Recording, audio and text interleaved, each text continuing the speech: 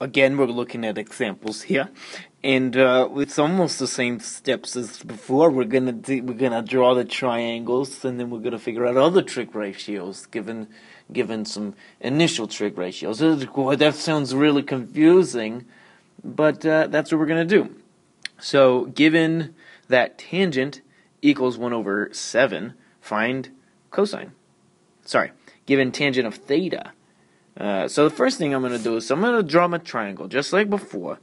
And I'm going to pick an angle to be theta. It doesn't matter which one, because it, does, it, does, it doesn't matter. And then uh, it tells me that tangent is 1 over 7. So that means uh, TOA. That's the TOA part for SOHCAHTOA.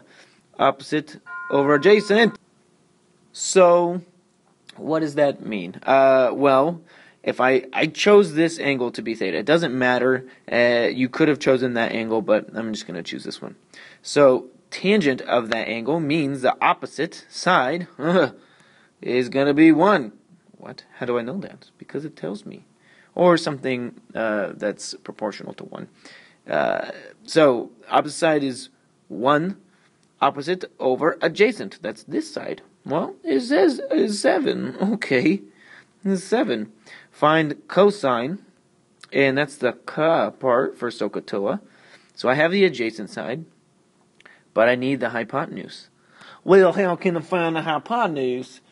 As you, I could just use Pythagorean theorem. This would be the A, this would be the B, and this is the C. Like a red. It's red. It's the Red C. Uh, so then I will take 7 squared plus 1 squared. That must equal C squared which is 49 plus 1 equals c squared, so 50 equals c squared, which means I square root the both sides, and I get regular c equals uh, 50 square root of 50, and I'm going to reduce that. That's 25 times 2. So that means this turns to a 5. So I have 5 root 2 that is what C is. So I take this and I change it to 5 root 2. And then um, now I can find cosine. So cosine of theta equals the adjacent side, uh, 7, over 5 root 2. And one more time, because uh, this is what most, um, Uh, like how, how things are written. I mean, it's not necessary, but we're going to rationalize the denominator just because in most textbooks that's what it'll look like. So I just multiply by the irrational part in the bottom and in the top. So I just have cosine of theta equals 7 root 2, right, because that's the top. And then 5 times, square root of 2 times the square root of 2 is 2. So this becomes 10. So I have 5 times 10 is 50. And there you have it, my friends. Shall we do one more example? Alright, let's reiterate what the heck I just did. So, they gave me uh, one trig ratio. So, given one trig ratio, find another trig ratio. That's something that you could look up if you're trying to find this, maybe more examples on your own. Given one trig ratio of a right triangle, find another. Uh, so that's that's what we're supposed to do. And the first thing I did was I just drew a triangle and I chose one of the acute angles to be theta. And then I have my right angle there.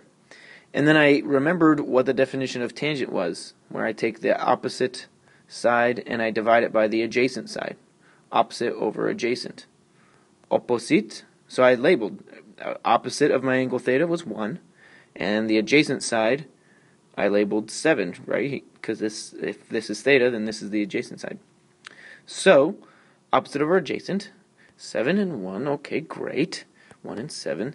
Uh, then I needed to find my hypotenuse, and I used the Pythagorean theorem to find that. Uh, because, why did it? Why did I need my hypotenuse? Well, cosine says that, or the, the trig ratio for cosine is the adjacent side divided by the hypotenuse. We had the adjacent, we needed the hypotenuse.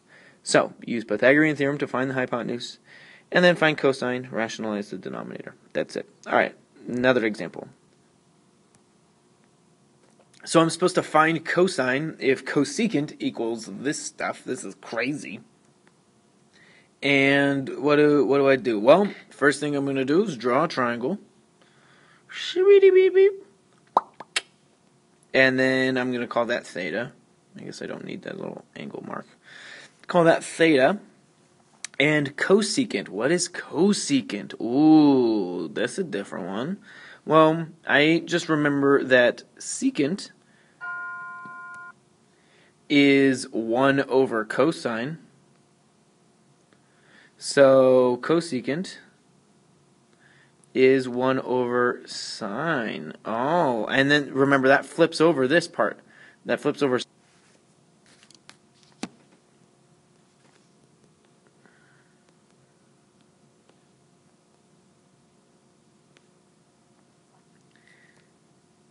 Oh, I didn't realize it was recording still. Whoops. Uh, so 33 squared is 1089, and 10 square root of 11 is 100 times 11, and that's just 110, right? All right, one 1,100. One more zero. And then I will subtract a 10, 8, 9. Okay. And that gives me a squared equals 11. I square root the both sides. And I get uh, a equals square root of 11.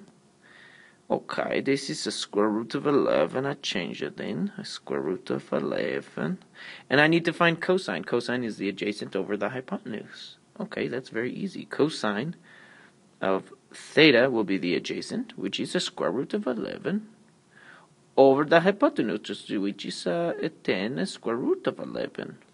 And once again, I will rationalize. So multiply by the irrational part in the bottom and in the top.